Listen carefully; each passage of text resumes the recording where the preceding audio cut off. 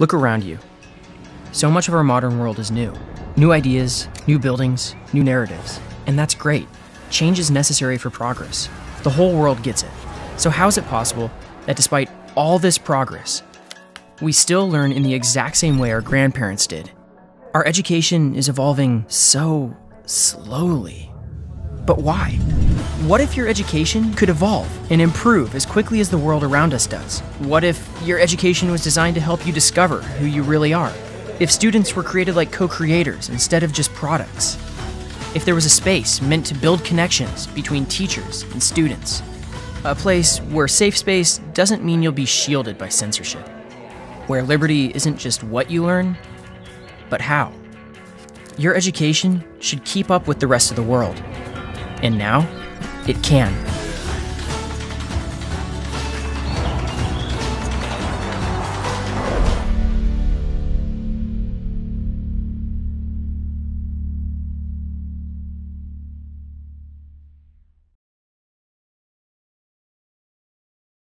Buenas tardes a todos. Soy Adriana Peralta, coordinadora de comunicaciones en el Centro Henry Hazlitt, y en el nombre del centro les doy la bienvenida a la conferencia Traerías a Batman a combatir la corrupción.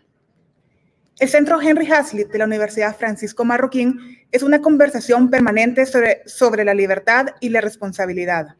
El centro es la unidad académica encargada de impartir los cursos relativos a la misión de la UFM, que es la enseñanza y difusión de los principios éticos, jurídicos y económicos de una sociedad de personas libres y responsables. Esta tarde buscamos analizar a Batman con la trilogía que se llama The Dark Knight. Esa trilogía fue dirigida y producida por el director Christopher Nolan. Esas tres películas, abordan muchos temas filosóficos a través de sus personajes. Estos y sus visiones filosóficas se pueden dividir en tres grandes grupos. La Liga de las Sombras, representada por, los tres, por tres personas, Rachel Gould, Miranda Tate y Bane. Ellos proponen la destrucción total de Ciudad Gótica. Así se solucionaría la corrupción que se vive en esa ciudad. El Joker no plantea ninguna solución, simplemente quiere ver el mundo arder y generar caos en la ciudad. Por su parte, Bruce Wayne, o sea, Batman, en contraste con la Liga de las Sombras y el Joker, no apela a la destrucción, sino a la salvación, a la fe, a la redención y a la esperanza. Para Batman, la solución para la corrupción de Ciudad Gótica es fortalecer el sistema, no destruirlo. Cada uno de ellos quiere combatir la corrupción desde sus convicciones. Por ello, nos hemos planteado las siguientes preguntas. ¿Qué pasaría si Batman viviera en nuestra sociedad? ¿Cómo Batman combatiera la corrupción? Batman fuera la solución para una sociedad como la nuestra. ¿Cómo contrastan las filosofías de los personajes con conceptos como el Estado de Derecho? Para hablar de esto, tenemos a Gabriel Calzada y Will Ogilvy. Gabriel Calzada es el rector de la UFM, doctor en economía, ávido cinéfilo y cuyo personaje superhéroe favorito es Batman. Will Ogilvy es el coordinador de la carrera de Asuntos Globales del Instituto de Estudios Políticos y Relaciones Internacionales. EPRI. Ávido lector, doctorando en filosofía política y su superhéroe favorito también es Batman. Al público presente les invitamos que si tienen dudas, por favor las hagan en el post de Facebook de esa transmisión. Sin más, iniciamos con la conversación entre Will y Gabriel. Gracias, Adriana. Muchísimas gracias. Es un placer estar aquí con el CHH y con nuestro rector, Gabriel. Gracias, Adriana. Bien, pues por lo que nos planteabas, Adriana, la idea entonces es hablar de corrupción, corrupción y Batman. Y si traeríamos a Batman, si traeríamos a Batman a Guatemala, supongo. Yo creo que Batman, si viene a Guatemala y ve la corrupción del mundo real, no de los cómics, se, se, tira de los pelos.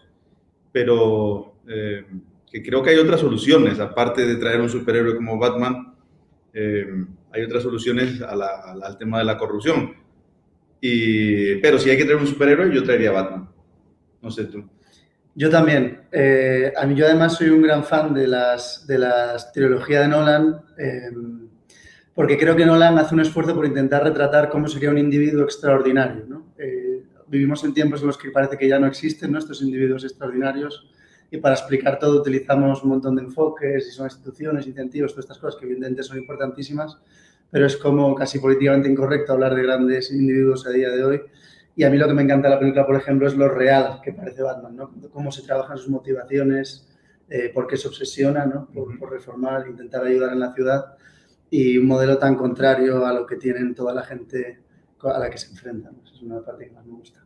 Y creo que otro aspecto de Batman que es muy interesante, ¿no? Que eh, hablamos siempre de soluciones, además estamos aquí en el collab, soluciones privadas a problemas públicos y creo que no hay ejemplo de una solución privada a un problema público más claro en, en los cómics, eh, en las películas de superhéroes que la de Batman, que es un empresario, un, un empresario que además dedica mucho a la innovación, que sabe que hay que estar continuamente innovando, que si no no le van, innova, le van a sacar del mercado y que utiliza una parte de esa innovación para precisamente eh, solucionar algunos de los problemas principales que tiene su ciudad, que es el problema de la ineficiencia del, del servicio estatal, eh, que es la ineficiencia de la justicia, del, eh, del, del del sistema de policía y que él decide pues eh, aplicar lo que sabe, que es la empresarialidad, a solucionar ese problema. O así lo veo yo.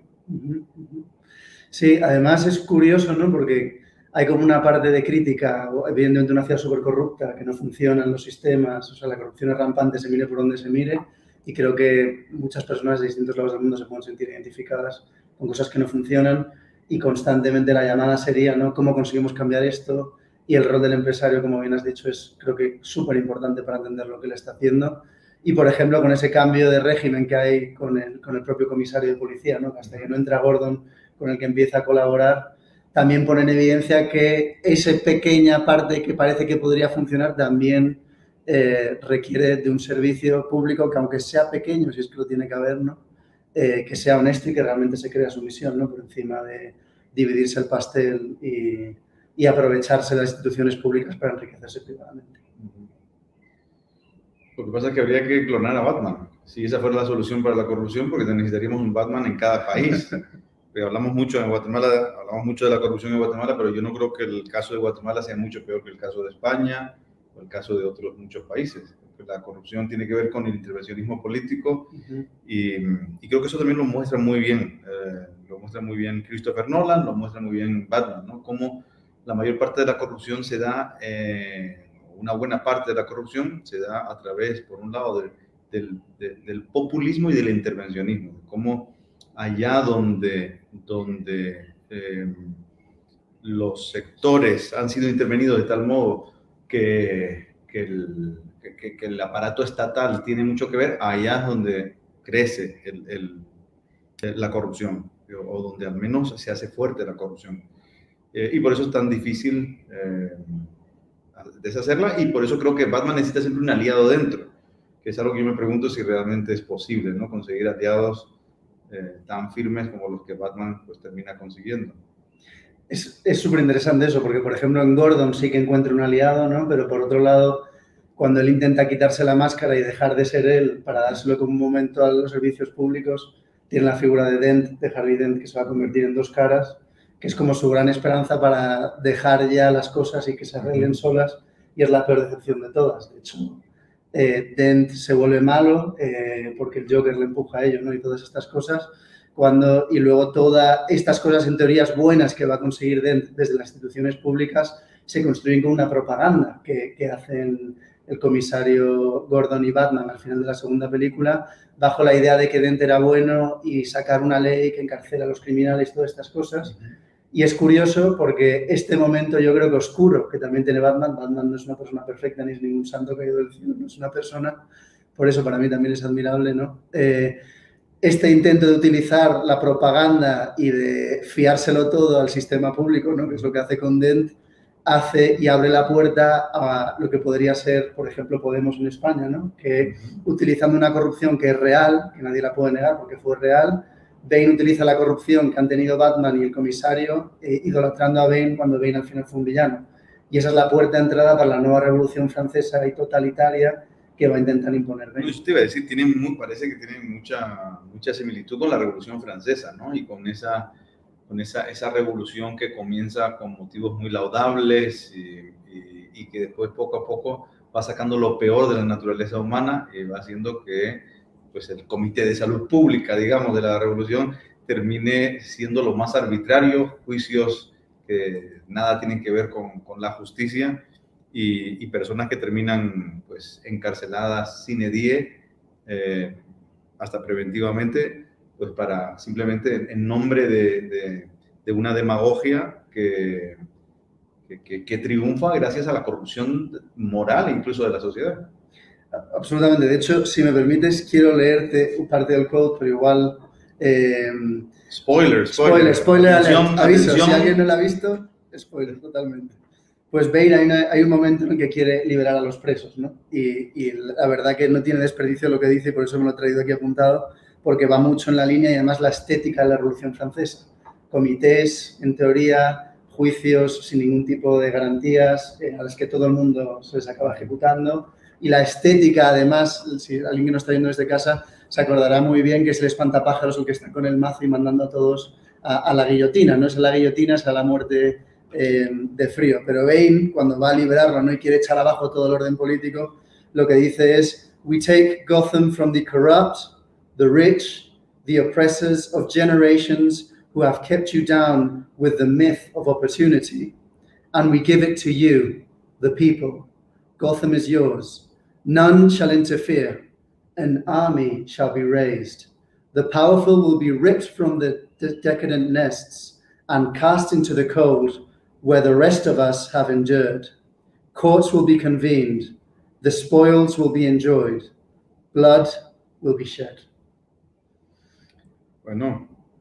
Y yo creo que aquí hay una tensión importantísima de dos visiones distintas de la sociedad, ¿no? Uno es, eh, pues bueno, la ilustración creo que nos trajo cosas maravillosas, evidentemente, pero también, y no hay que olvidarse, trajo los totalitarismos, ¿no? Y, y parte de las invenciones eh, más liberticidas que, hemos, que, han, que, han, existido. Y aquí vemos, o en mi opinión, vemos una especie de tensión ¿no? entre un régimen que quiere como hacer borrón y cuenta nueva, ¿no? que era una de las ideales de la Revolución Francesa, eh, y una imposición totalmente de arriba abajo, que encima es súper comunista, en mi opinión, porque lo que es es un velo, realmente a los comunistas nunca les interesó el pueblo, lo que les interesó es perpetuarse ellos en el poder, y además fueron buenísimos porque mantuvieron a todos hambrientos y pobres, y realmente Bain lo que hace es exactamente esto, ¿no? Es decir, en realidad es una farsa todo lo que va a hacer y se va a acabar cargando la ciudad, que es lo que, lo que él va a acabar haciendo, pero es esta idea de que muchas veces los comunistas utilizaron la corrupción real, porque fue real,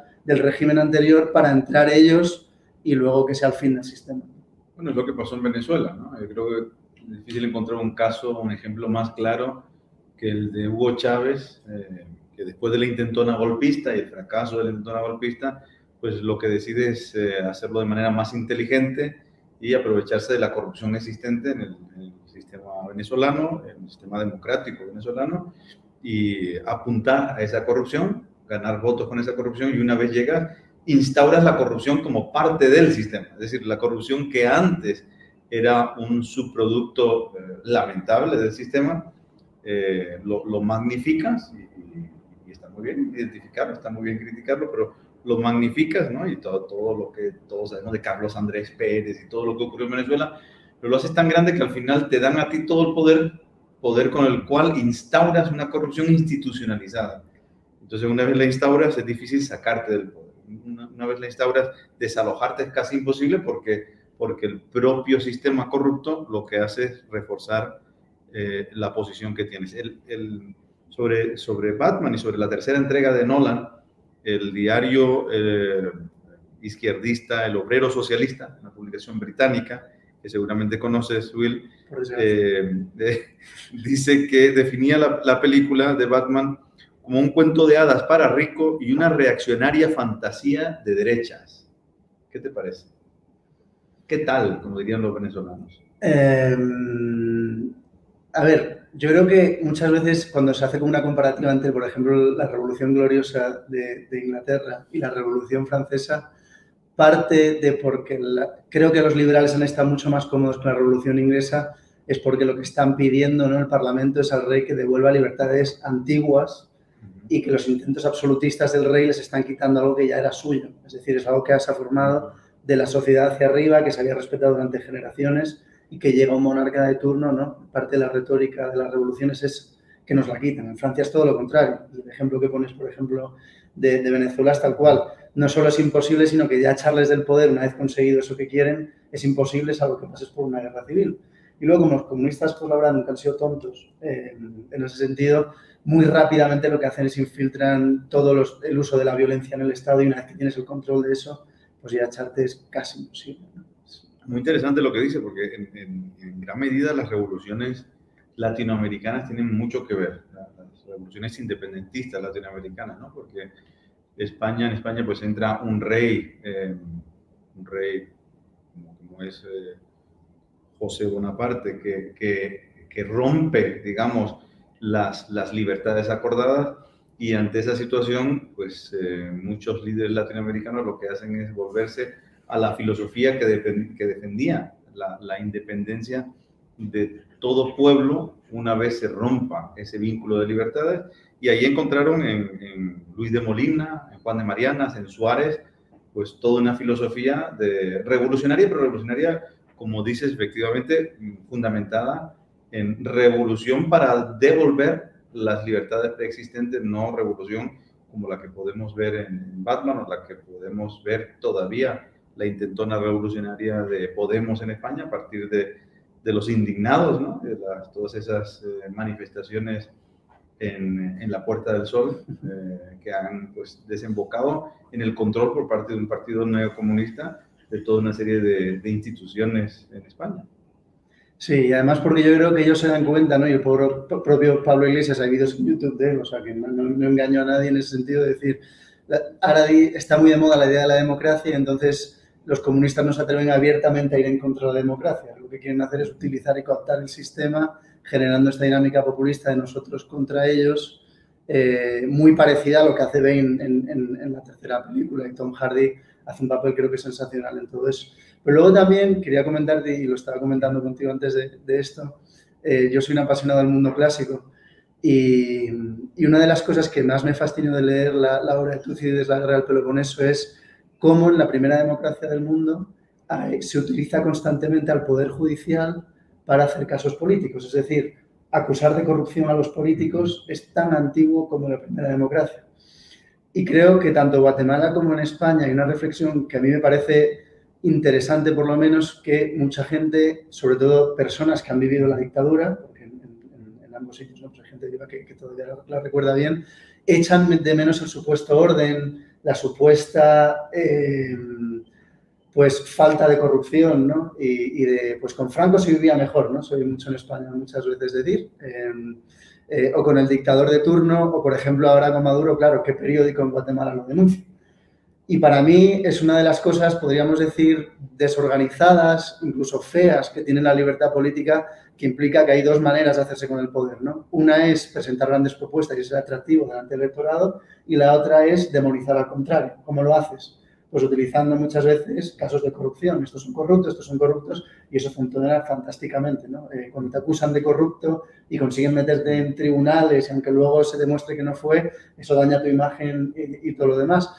Y aunque esto es feo y a nadie le gusta, ¿no? y, y, evidentemente hay corrupción en la democracia, no quiero decir que no lo haya, es una fatal señal cuando ya no hay medios de comunicación independientes y que todo es silencio, porque evidentemente, como bien has dicho tú, la corrupción claro que hay, lo que pasa es que ahora es instaurada, ahora ya es institucional al 100% y ya no existen medios de comunicación independientes que se atrevan eh, a denunciarlo. ¿no? Entonces, muchas veces los que creen, los que creemos la libertad, creo, tenemos que tener esa creo que esa valentía, ¿no? De saber decir que sí, que la libertad, pues evidentemente tiene estos pequeños inconvenientes y a veces nos podemos cansar, ¿no? De no ver más de titulares de corrupción por todos lados, que desde luego, repito, existen, pero que es un síntoma de que por lo menos hay medios de comunicación que se atreven a denunciar.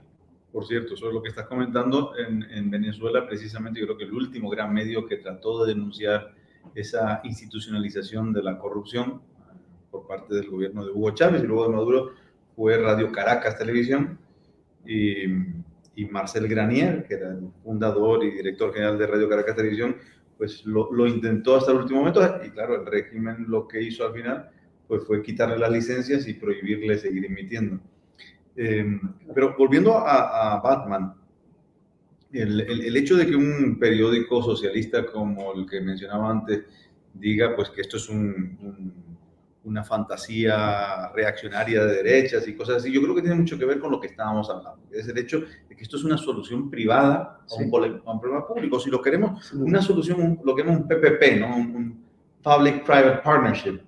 Y no, no, pronuncio como Will, pero han visto que, que voy mejorando. Oye, a Will lo teníamos que contratar para hacer un, cuando, cuando, cuando, grabemos un Batman en la escuela de cine, vamos a, a contratar a Will para esas frases eh, lapidarias y, las, las, ponemos en inglés y las, y las distribuimos por Estados Unidos y Inglaterra. No, pero ahora en serio, el, el, yo creo que una cuestión interesante eh, es si realmente Batman, que yo creo que es la pregunta para nosotros por la, por la que nos han llamado, que es, ¿realmente Batman es la solución mejor a la corrupción?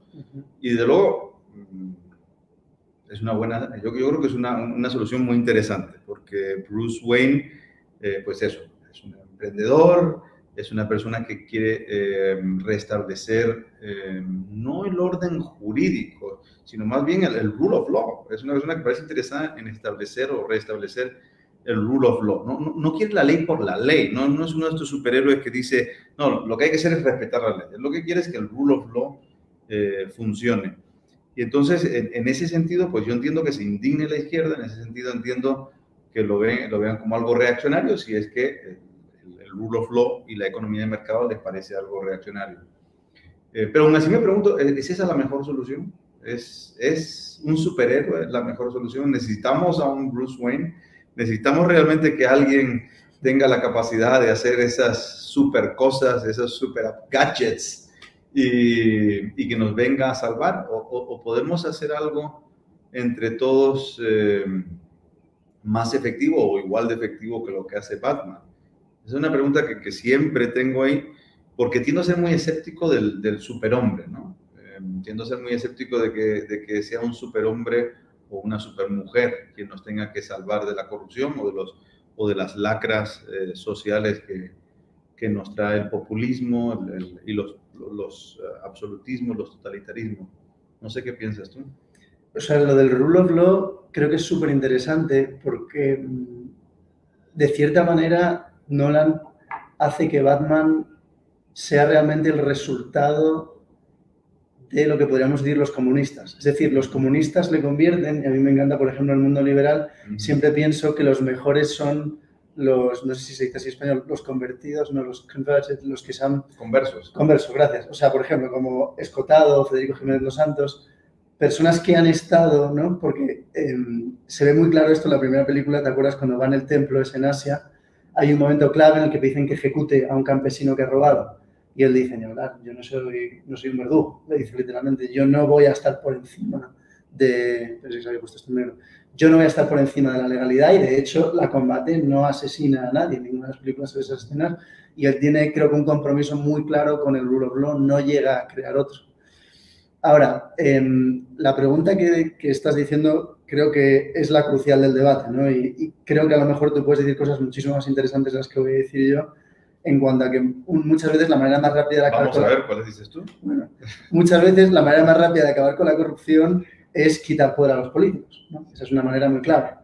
Y a lo mejor tú, que tienes más experiencia que yo en eso, puedes explicar cómo distintos incentivos han funcionado, a lo mejor experiencias que tú hayas tenido en sentido, que puedan ilustrarle a la gente que no está viendo lo que nos referimos. Eso lo veo claro, ¿no? Quitar poder. Em, y si quieres, o sea, quería saber tu opinión realmente en esto. Sí, pero tenemos a Adriana ahí que nos está pidiendo un anuncio publicitario o algo. Espera, espera un momento que no te escuchamos. Da un momento que subo aquí. A ver. Perdón, ya me estaba en por supuesto. Vale. Tengo una pregunta de una alumna de EPRI que quedaba bien hace unos, con, lo que estaban platicando. Macris, Macris Rodil pregunta, ¿ustedes creen que la figura de Batman funcionaría hasta cierto punto como un servicio privado que proporciona seguridad o sería público al proporcionar sus servicios al Estado? Pues, creo que es muy buena pregunta, muy, muy buena pregunta. Y yo confiaría más si fuese un servicio privado y además que se ofreciera en competencia eh, al, a, quien lo tenga que contratar, ya sea al ayuntamiento, al, a la provincia, al, a la comunidad autónoma en España o, al, al, gobierno central. Yo, yo confiaría muchísimo más en eso porque te quitas al monopolio de encima, te quitas, te quitas al monopolio y te, quitas los incentivos perversos del funcionario que está de por vida, ¿no? Eh, en cambio, cuando tienes a un Batman, o mejor aún, a unos cuantos Batmans que se ofrezcan, pues creo que, creo que se evitan muchos de estos problemas. Así que yo creo que la pregunta es muy buena y, y optaría por, por contratar. Yo, yo no termino de ver por qué los servicios de seguridad tienen que ser, tienen que ser públicos. Creo que en Guatemala además se ve que, que, los servicios privados funcionan estupendamente bien. A lo largo de la historia tenemos un montón de ejemplos de servicios privados que funcionan bien y siempre que operen al servicio de lo que pues, el, el, sistema constitucional eh, haya establecido, creo que mientras haya, competencia va a ser mejor. Igual que lo que es mejor, que haya competencia en la producción de educación, de pan, de alimentación y de prácticamente cualquier servicio.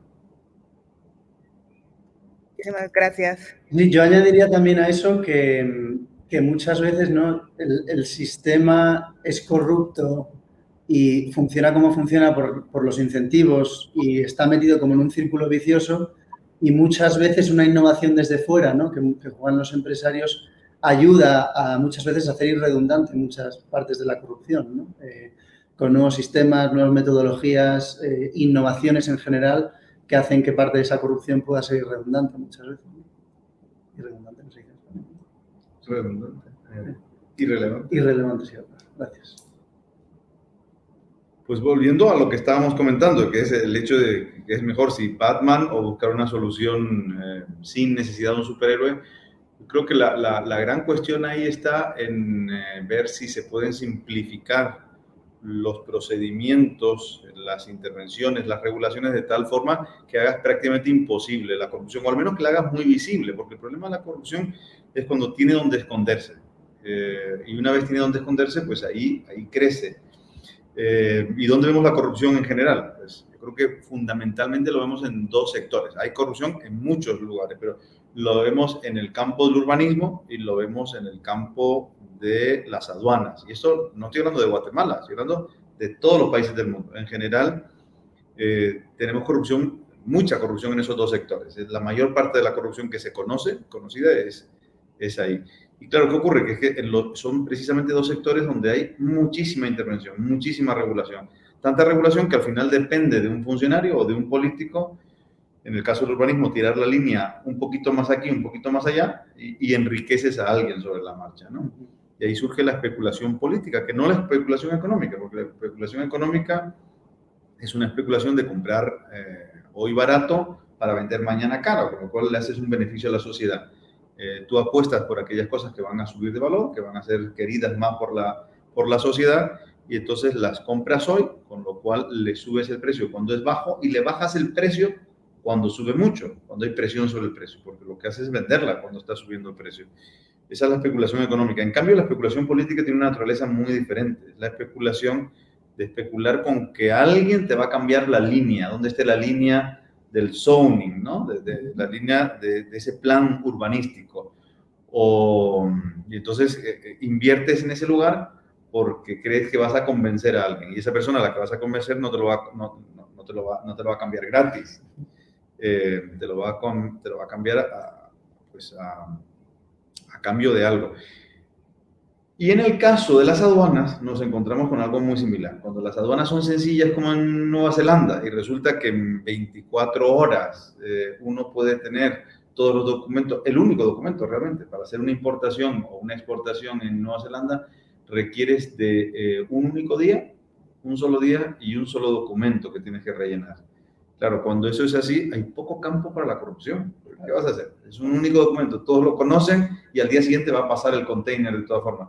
Cuando resulta que son semanas y semanas, cuando uno resulta que va a pasar la frontera en Guatemala, por poner un ejemplo, es kilómetros y kilómetros y kilómetros de camiones que lo que están esperando es a pasar la frontera, a ser revisados, a rellenar multitud de papeles y, rellenar y pasar la frontera, ahí lo que te encuentras es con un poder desmedido del funcionario de turno o del político de turno que te dice, pues si a mí me das tanto y yo te hago, te, te logro hacer pasar antes, ¿no? Y de ahí surge la corrupción. Si aquí tuviésemos un modelo como el de Nueva Zelanda, que Nueva Zelanda es un país que tuvo sus problemas de corrupción.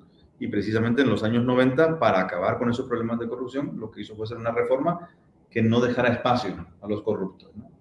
Y, y, lo del y no dejar espacio a los corruptos no consiste en poner más organismos de vigilancia, uh -huh. más instituciones que se dediquen a, a, contratar a más burócratas, que se dediquen a, a controlar al controlador, sino consiste en quitarle los espacios posibles de corrupción. Así que yo, yo tiendo a pensar que es una solución más efectiva que contratar a Batman.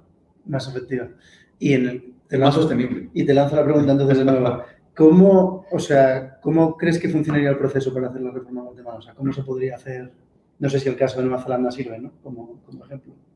Yo creo que lo, los casos de países que han sido exitosos eh, tienen algo en común. Y es que la, la, la, reforma para acabar con la corrupción han sido reformas. Eh, tienen tres cosas en común, seguramente. Eh, una, que han sido reformas del estilo de la que hablábamos. Reformas que quitan espacios a la discreción, a la arbitrariedad de, y, y, al poder en general de los funcionarios eh, y de los políticos. Por otro lado, son reformas que han sido ejecutadas de manera muy rápida.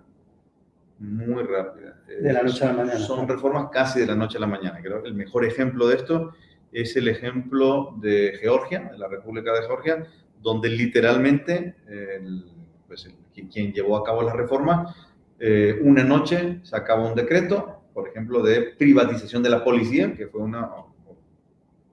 Primero fue despedir a todos los policías y luego contratar a todos los policías 24 horas después, o eh, subastar, privatizar todos los hospitales del país. ¿no?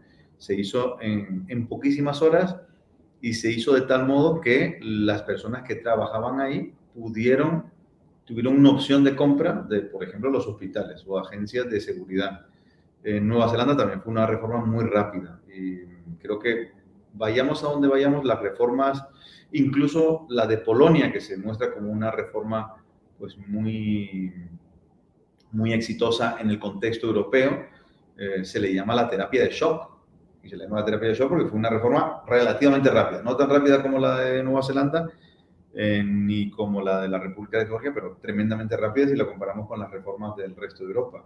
Yo creo que la rapidez es otra característica que tienen, que tienen las reformas que son efectivas y suelen tener otra característica que son bipartisanas. Suelen ser reformas a las que se llega desde la izquierda y desde la derecha. Por ejemplo, en el caso de Nueva Zelanda, pues hubo una alianza entre los socialistas y los conservadores para llevar a cabo la, la reforma. Y no digo que sea todo el Partido Socialista y todo el Partido Reformado, pero, pero tenemos a un líder eh, socialdemócrata y a, y a una líder eh, del Partido Conservador que unen eh, esfuerzos y, y, llevan a cabo las reformas, lideran, lideran las reformas. En el caso de la República de Georgia nos encontramos con algo similar, con la diferencia de que la República de Georgia había salido de una tiranía, de una tiranía, de tiranía socialista y no había ya nadie que defendiera el socialismo ahí porque lo habían vivido eh, en carne propia. Y, y, creo que esa es otra característica que en general, igual que en Suecia, en Suecia las reformas de Suecia, eh, Suecia que desde los años, desde el año 96 aproximadamente, es uno de los países más liberales del mundo, pues eh, lo es porque eh, socialistas y conservadores llegaron a la conclusión de que aquello del socialismo democrático sobre el papel estaba muy bonito, pero en la práctica era, como decía Margaret Thatcher, se, acaba, se acabó cuando se les acabó el dinero. De los demás con el dinero de los demás, sí. cuando ya no queda dinero a los demás para pagar el sueño socialista. ¿no? Y, y, fue una alianza también de, eh, de conservadores y, y, y, socialdemócratas, que yo creo que también lo veo, lo veo eh, como algo muy consistente en las reformas exitosas contra la corrupción. Porque es algo que sobrevive a una elección, probablemente. Es algo, que tiene, es algo que tiene que sobrevivir a una elección, efectivamente. A mí me, bueno, hemos invitado al segundo semestre a Nils Carlson, Mm, qué bien. Eh, a Lepri y va a dar un curso sobre... Pero la clave es si, va, si lo han invitado, pero si ha aceptado o no. Sí, sí, viene, viene. Qué bien, qué eh, gran noticia. Y para no hablar, se lo pierdan. Sí. Y el libro suyo de Statecraft and Liberal Reform habla mucho del caso, el caso de Australia, que incluso, y es una cosa que, que, nos deja a todos un poco locos, ¿no? El libro, las reformas se inician por la izquierda. Y es como una manera de teatro de generar una crisis tan grande de percepción de que la corrupción, de que el problema en sí sea tan grave, que genere que hasta el partido que en teoría de ser socialista tenga que tomar reformas liberales, ¿no? O sea, en España ni los, ni los sueñas en mi vida, creo que veré soy alguien así haciendo algo así. Pero, con la seguridad social, ¿no? Un montón de problemas que sabemos que no funcionan, que no van a ningún lado, las pensiones en España y todo lo demás, necesitan de algo de este tipo para, para generar un, una reformación un sistema privado, ¿no? Que sería Claro. Sí. Y yo la, el, tema de la... Sigo dándole vueltas a si Batman o, o, desregular, que al final es la solución. Desregular, simplificar y hacer todo más transparente. Y mm, me estaba acordando ahora de un caso que viví hace años de corrupción eh, porque quería abrir un café, un café para tertulias. Se me metió en la cabeza que tenía que abrir, que quería abrir un café para tener tertulias y proyecciones de cine. Son dos cosas que me apasionan. Discutir, tener, hacer lecturas y discutirla con un grupo de amigos. Y durante años lo hicimos en, el casco antiguo de Madrid. De ahí surge el Instituto Juan de Mariana, esas tertulias. Y luego, eh, pues el, proyectar. Y queríamos tener un espacio donde hacer todo eso. Entonces, eh, pedimos una licencia para transformar un local que teníamos, que hoy es la sede del, del Centro de Estudios de Madrid Manuel Ayao, y, y solicitamos convertirlo en un café. Bueno, tardó el ayuntamiento cinco años y dos meses en contestar. Y, y cinco años y dos meses nos iban requiriendo papeles y más papeles. Claro, a, los seis meses recuerdo que nos sugieren en el ayuntamiento, que yo digo que ya está tardando mucho, la verdad en aquel momento no sabía que iba a tardar más de cinco años, estaba tardando mucho, entonces me refieren a una oficina, me recomiendan una, un despacho de urbanismo. Eh, que estaba en una calle de mucha solera de Madrid. Entonces voy eh, a, ese despacho, nos atienden un sitio muy lujoso, nos atienden tremendamente bien. Y una vez tenemos la reunión, nos explican la complejidad del sistema, la hora de aprobar cualquier tipo de permiso, incluso si es para montar un café, y que eso se puede ir, se puede dilatar mucho, pueden ser muchos años, pero que si nosotros pagamos eh, una cantidad de dinero, que era bastante grande, en, en, ese momento y otra cantidad de dinero igual de grande el día que obtuvimos la licencia, en cuestión de tres meses teníamos la licencia concedida. yo me quedé asombrado, recuerdo que en aquella época yo, escribía en varios periódicos, se lo dije a los editores y los editores decían, mira, te creemos porque no lo estás diciendo tú, pero no podemos publicar algo como eso porque es tu palabra contra la del ayuntamiento, tu palabra contra la de esos despachos. Y mm, años más tarde saltó el escándalo, se llamó la Operación Guateque, si no recuerdo mal, y fue un escándalo de corrupción monumental en Madrid y que además fue un escándalo que afectó tanto al Partido Conservador, el PP, como al Partido Socialista, el PSOE, porque aunque inicialmente parecía que iba a estallarle al PP, resultó que era un sistema, el de la operación que se descubrió en la operación Guateque, que existía con los dos partidos, independientemente del partido que estuviera, todo ese dinero que pagaba la gente por conseguir la licencia le iba y se lo repartían los partidos políticos. Y fue un gran escándalo de corrupción. Y cuento, cuento el caso porque en el caso mío que decidí no pagar, y, la verdad, después consideré que, que, era estúpido, era absolutamente estúpido, porque eh, no pagué pensando, no, yo no voy a pagar, no voy a alimentar la corrupción, y lo que me pasó es que me quedé sin el café. Y vi como otros cafés iban abriendo y yo decía, esto no puede ser aquí todo el mundo está pagando, eh, está pagando lo que le piden, está, está alimentando la corrupción, pero al menos, al menos logran abrir. ¿Qué es lo que pasa muchas veces? Yo creo que aquí hay un problema y es eh, cuando, cuando tenemos corrupción relacionada con el exceso de regulación y el intervencionismo, eh, y, un empresario paga por, por, por, sacar adelante su negocio, es una cuestión, a, mí me duele mucho cuando se le echa la culpa al empresario porque el empresario hasta cierto punto tiene un deber moral de sacar adelante ese trabajo para sus empleados, para sus socios eh, y para todas las personas que viven de la empresa. Y, el problema y la responsabilidad creo que hay que ponerla siempre sobre el funcionario o el político que se aprovechan de esa regulación para, para pedir esos dineros. No sé cómo lo ves tú. Sí, sí. Yo soy un simple economista. sí, sí, estoy totalmente de acuerdo. Y con un economista no me voy a discutir de eso. Pero, o sea, volviendo a la pregunta que estabas haciendo de si Batman es o no la solución, es decir, hay muchos ejemplos ¿no? de grandes empresarios que intentan dar una vuelta. O sea, bueno, yo, tuve la suerte de trabajar en Inditex y he visto como una ciudad, pues, una ciudad pequeña del norte de España que no se diferenciaría de ninguna otra, eh, de un pueblo que originalmente era pesquero además, pues se revoluciona. la Coruña. La Coruña. Eh, se revoluciona en el sentido de las mejores tiendas del mundo, gente de todos lados, diseñadores de Nueva York, de Japón, de todos lados, a un nivel de innovación. Bueno, a todos los niveles, yo creo que toda La Coruña eh, sabe mucho lo que, lo que una persona eh, puede realmente hacer, ¿no? Cuando hace una revolución de este tipo, como ha sido Ortega. Y Amancio Ortega es una persona súper humilde, que nunca le darás una entrevista, no le interesa nada de eso, lo que le gusta es su empresa y su negocio y demás, pero que es un cambio de la realidad que afecta a todas las capas de la sociedad, o sea, la hostelería radicalmente cambiada. Los precios de los pisos al alza, la gente viviendo de negocios que no existirían si no fuera por una sola empresa. Evidentemente, ojalá en España tuviéramos 7.000 avances más, ¿no? Lo que siempre vamos a decir. Y Adriano nos quiere hacer una pregunta. Ay, perdón. Quiero hacer una pregunta. Yo quiero hacer una sola pregunta. Quiero hacerle preguntas del público que tenemos un montón.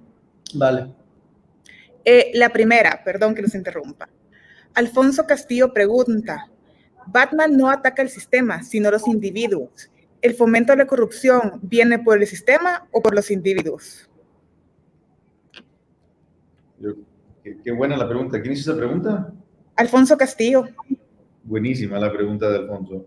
Em, a ver, yo, yo creo que la, la, la corrupción, si partimos de la base de que los seres humanos somos imperfectos, eh, siempre que el sistema dé espacio a la corrupción va a existir, porque siempre va a haber seres humanos débiles que, que, que traten de aprovecharse de esa situación. Entonces yo creo que hay, no podemos reformar al ser humano, no podemos cambiar la naturaleza humana, podemos hacer nuestro mejor esfuerzo a la hora de educar y tener una educación lo más completa posible en valores eh, éticos, pero lo que no podemos plantear es que la corrupción se vaya a acabar por el hecho de que vayamos a mejorar la educación. Creo que hay que trabajar en ese sentido y al mismo tiempo lo, lo que hay que hacer y lo que sí puede acabar con la corrupción, y lo ha demostrado además en Nueva Zelanda, que estábamos hablando antes de Nueva Zelanda, eh, es el país que aparece sistemáticamente como país menos corrupto del mundo desde que se hizo la reforma, no antes.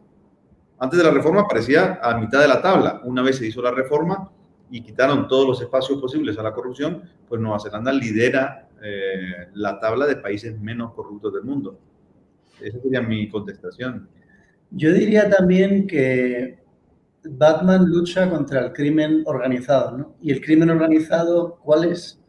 Pues las distintas mafias y el Estado, ¿no? Eh, que está totalmente, o sea, no sabes cuál es peor, ¿no? Eh, porque por lo menos la parte privada de ese crimen, pues lo es y la gente lo entiende con facilidad, pero cuando una institución como la policía es corrupta, a mí siempre es lo que todas las instituciones públicas, eh, toda la corrupción en instituciones públicas es terrible, ¿no? Pero a mí la de la policía me parece especialmente terrible, ¿no? De los cuerpos de seguridad, porque la gente acude a ellos en un momento de desesperación, ¿no? Muchas veces para proteger las cosas tan básicas como la vida. Eh, y la primera pelea la primera película es contra la policía, que es absolutamente eh, corrupta.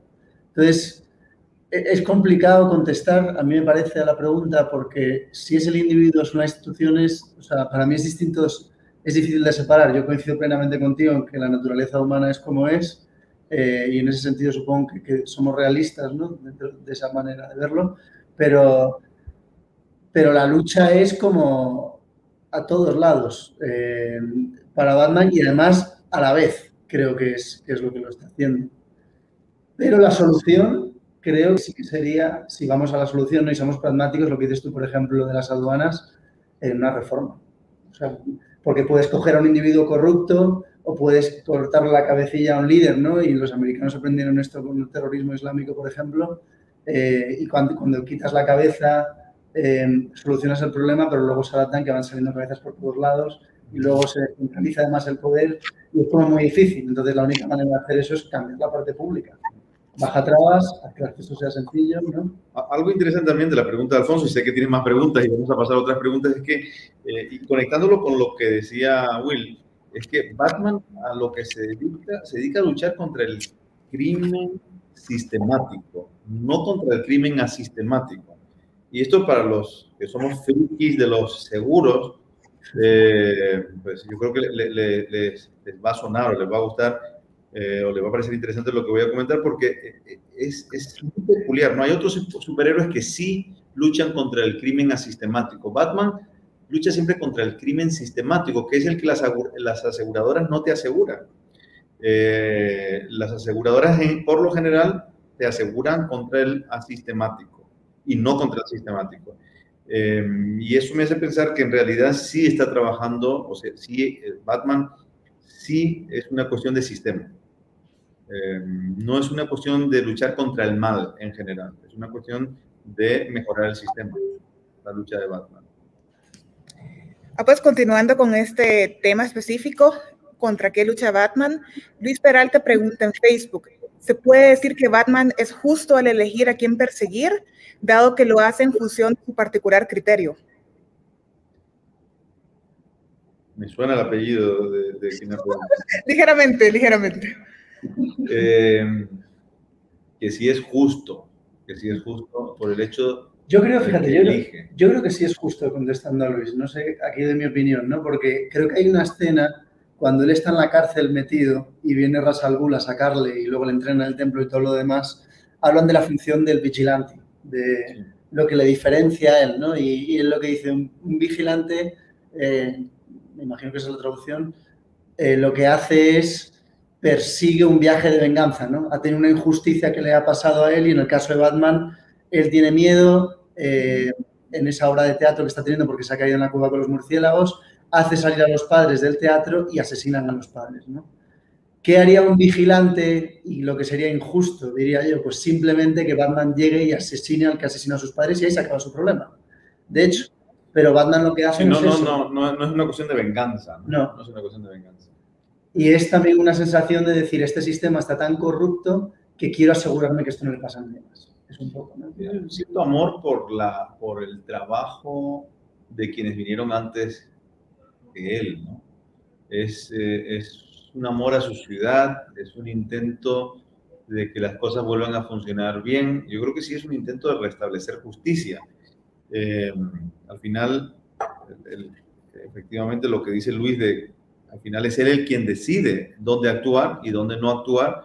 Por ejemplo, lo comentábamos antes, decide actuar en el crimen sistemático y decide no actuar en el crimen asistemático. Eso es una elección, pero es una elección de recursos escasos, ¿no? Allá donde tengo, nos va a pasar lo mismo con los jueces, la policía, con todo. Al final, cuando tienes recursos escasos, eh, no, nos pasa con, absolutamente todo la vida. Cuando tienes recursos escasos, ¿dónde, ¿dónde dedicamos antes los recursos de policía, los bomberos que tenemos?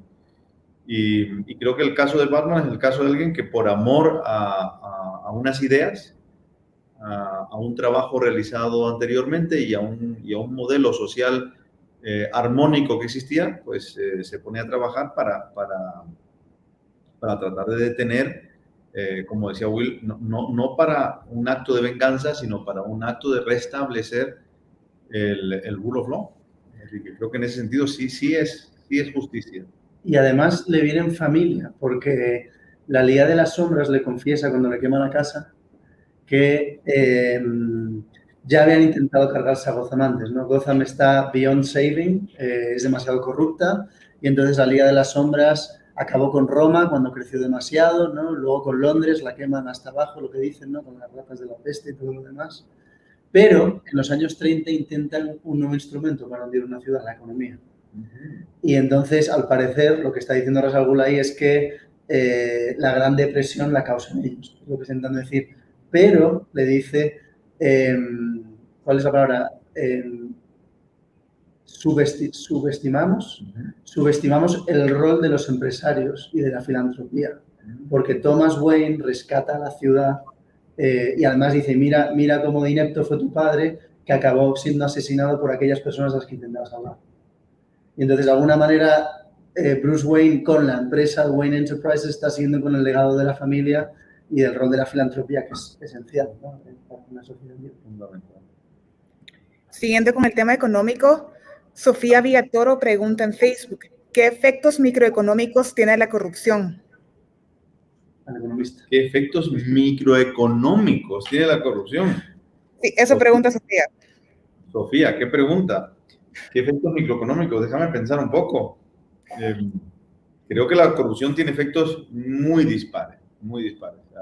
el fenómeno que llamamos, que llamamos corrupción y que contiene toda una serie de acciones que son muy diferentes, eh, desde el tráfico de influencias eh, hasta, hasta pues, lo que decía antes, el, cambiar eh, una norma para el beneficio de alguien concreto, el cambiar un plan general urbanístico, un POT, para, para enriquecer a alguien que a su vez después va a financiar al partido. Son, son actividades, metemos dentro de corrupción actividades muy diferentes y está la de la persona que eh, paga un, un, soborno o que paga una cantidad de dinero para que le dejen pasar un container que está lleno de alimentos perecederos que si no se van a perder y por lo tanto eso va a perjudicar mm, a la empresa, lo cual significa a los trabajadores, a los consumidores y demás. Entonces son, son acciones muy, muy distintas las que metemos en el saco de la corrupción y el efecto microeconómico creo que también es muy distinto. Creo que en el caso de la corrupción que es em, del cambio de normas para beneficiar a algo, y en general suele resultar en financiación política eh, indirecta, creo que es un efecto microeconómico eh, muy negativo porque sustituyen eh, la especulación económica, que tiene efectos muy, muy buenos, es un efecto coordinador, por la especulación política, que tiene un efecto netamente desestabilizador y descoordinador. Ese tipo de corrupción yo diría que ese es el efecto microeconómico que tiene. Eh, en cambio, cuando hablamos de cuando llevamos corrupción a quien paga un dinero para que le dejen pasar un container, que si no lo van a tener ahí no sé cuántos días y se va a perder toda la mercancía, ahí creo que no podemos hablar de un efecto negativo. Eh, obviamente, eh, quien, quien lo paga lo ve como un coste hundido, pero para, para, para un beneficio para sus clientes, sus trabajadores y demás. Entonces creo que en esos casos tiene un efecto microeconómico, ¿no? No estoy hablando ahora de si es bueno o malo saltarse las normas, ni mucho menos, no me quiero meter eh, en ese asunto, pero de luego, desde el punto de vista económico, creo que estas tienen un claro efecto económico positivo, va a depender siempre de cuánto le, cuánto le exige el funcionario corrupto o el político corrupto por dejar pasar el container o, la camioneta. Eh, pero, pero en general suelen tener, si lo ha pagado el emprendedor, es porque, es porque seguramente tiene un efecto económico neto eh, positivo. Yo, em, y aquí corrígeme si me equivoco, pero me acuerdo de cuando tuve la oportunidad de trabajar con Javier Fernández Lasqueti, me hablaba de una cosa muy común eh, en España, que es que los alcaldes em, muchas veces lo que hacen es sacan pecho con obras públicas porque obligan a los empresarios a, bueno, te doy el permiso para hacer este edificio si quieres, pero ya que estás en un campito de fútbol o algo que pueda sacar pecho, y todo el mundo está muy contento, pero los que pierden son los que están comprando, cada persona que va a comprarse ese piso acaba pagando más de lo que le tiene que haber costado. Entonces, alguien tarde o temprano asume el coste. Lo que pasa es que consiguen hacer que sea casi invisible y encima todos sacan pecho. Efectivamente. Es terrorífico eso. Continuando con el tema de la corrupción y que solo nos quedan cinco minutos, voy a combinar dos preguntas. Pedro Pablo Velázquez pregunta, Culpar al que paga la corrupción no aumenta los incentivos para una cultura corrupta. Y José Andrés Sardón pregunta, ¿tener a un Batman para combatir la corrupción no es suficiente? Cuando la corrupción permea el sistema y la corrupción es la regla y no la excepción, ¿no sería encerrar a los corruptos, generar oportunidades para que entren nuevas personas corruptas? Bueno, me parecen excelentes los dos comentarios o las dos preguntas. El segundo, creo que es un, el, segundo es una tesis eh, puesta en forma de pregunta. Eh, yo creo que él tiene toda la razón, eh, quien ha hecho el segundo comentario, y efectivamente, si el sistema no cambia, el sistema no cambia, metes en la cárcel a uno y aparecerán a otros, otras personas, ya digo, como decía antes, habrá quienes jamás están dispuestos a entrar en cuestiones de corrupción, pero siempre va a haber quien sí lo está. Entonces, si, si, si toda la solución es meter a alguien en la cárcel, va a aparecer otro que ocupa ese lugar. Estoy totalmente de acuerdo. Creo que la solución definitiva es la solución de eliminar los espacios de corrupción posibles. Y para eso lo que hay que hacer es eh, acortar eh, o recortar eh, tramitología, simplificar todo tipo de procesos y transparentarlo. ¿La primera pregunta cuál era? la primera pregunta, ya te digo. Y también la voy a poner como Dice, culpar al que paga la corrupción no aumenta los incentivos para una cultura corrupta. Y, dame un segundito, Eh, también Pedro Pablo Velázquez pregunta, ¿el fracaso de Ciudad Gótica no tendrá su origen en pensar que Batman nos salvará? Pues, pues em, yo creo que tiene toda la razón Pedro Pablo Velázquez y que, y que no eh, culpar a, a, quien paga eh, a quien se le ha extorsionado para que pague no es, no es ninguna solución. Tiene, tiene efectos muy, muy negativos. Y es que si nos centramos en quien ha pagado la extorsión, eh, el extorsionador va a seguir actuando. Y yo mucho me temo que, que tanto en España como en Guatemala hemos vivido eso. Hemos vivido la casa de, de la casa de brujas, de quienes se vieron afectados por, por, por estos extorsionadores profesionales que están en el mundo pues, de, la, de, la, de, la, administración pública eh, y exigieron pues, el pago de una cantidad para dejarles hacer, para dejarles eh, ejercer sus libertades. Y si ponemos el acento en quien pagó el dinero, pues el extorsionador sigue actuando. Es más, su red sigue creciendo. Es un incentivo perverso, totalmente perverso. Tiene toda la razón Pedro Pablo y es muy posible que ese sea la razón de lo que pasará a Ciudad Gótica, pero no vamos a entrar ahí porque eso es un spoiler total. Will, no sé si quieres añadir algo. Bueno, yo por, por contestar a la parte de confiar en Batman, no, la última quizá que de las preguntas de si confiar en Batman no es el esperar ¿no? que te saquen como una, un Deus ex machina, ¿no? que te solucione el problema mágicamente. Eh, creo que por eso Nolan hace una pregunta intenta aterrizar al personaje tanto en la realidad, ¿no? Nolan creo que hace un esfuerzo por darle muchísimas capas de, motivación al personaje desde el principio. Y creo, o es lo que yo me llevo a la película, ¿no? Que creo que es lo que tenemos que hacer como sociedad civil, ¿no? Creer que nosotros somos posible, que, que no hay que ponerse una capa, ¿no? Que muchas veces es simplemente invertir o reunirse un par de amigos y discutir unas ideas es muchas veces pues retar a la tesis dominante, todas estas cosas Tocqueville, que conllevan... Tocqueville, me suena aquí Tocqueville. Sí, es que la sociedad civil, debe de estar leyendo Tocqueville o algo, porque... Eh, sí, es que mi maestro es Eduardo Noya. Ah, claro, claro, ya me lo has dicho todo. Sí. Que la sociedad civil... y el eh, empresario. No, no, deje, no deje, no deje la responsabilidad, no renuncie a la responsabilidad de solucionar los problemas a través a través de la discusión, la conversación, la crítica, eh, el desalojo de aquellos que no se ve claro su, su actuar. Sí.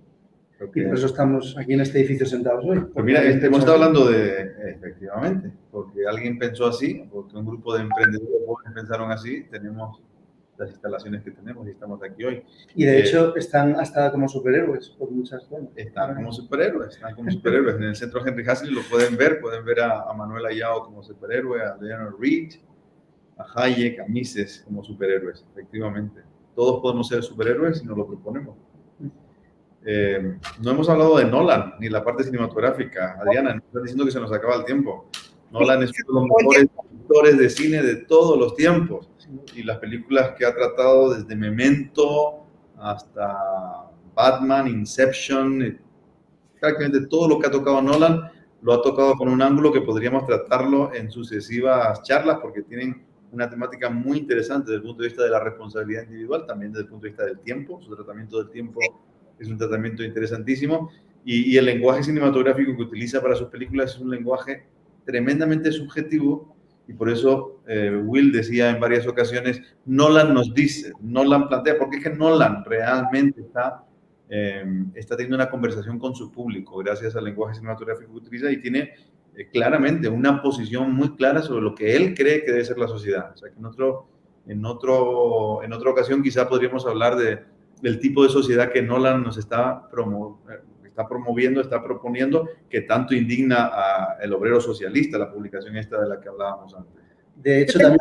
Para ti, Gabriel, perdón. A ver. De hecho, en, Dunkirk, en Dunkirk, los que vienen a salvar a los ingleses son pescadores pescadores, son, son en la sociedad civil son pescadores o son personas que tienen su yate de, de sí, recreo y van ahí a, a salvar a, a, los soldados del ejército británico. Así es. Maravilloso. Gabriel, la última pregunta.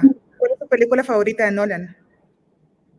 Uy, qué difícil, es que no, no he visto la última, entonces, eh, y no he visto la última porque no la pude ver en el cine y me niego a verla en una pantalla pequeña. Entonces estoy viendo a ver si Stephanie Falla nos organiza una proyección en la sala, en la sala de cine de la universidad. Eh, pero sin haber visto la última, quizá me quedo con Inception y con Memento. Ok. Quizá esas sean mis dos películas preferidas. Son tan distintas que no sabría con cuál de ellas quedarme. Ok, gracias. Bueno, se nos acabó el tiempo y en nombre del Centro Henry Hazlitt le damos las gracias por haber asistido a esta conversación. Un saludo. Hasta luego.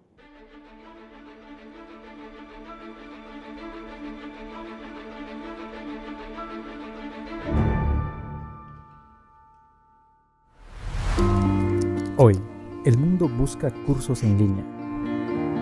Hoy, el mundo sigue las tendencias del mercado. Hoy, el mundo necesita emprendedores.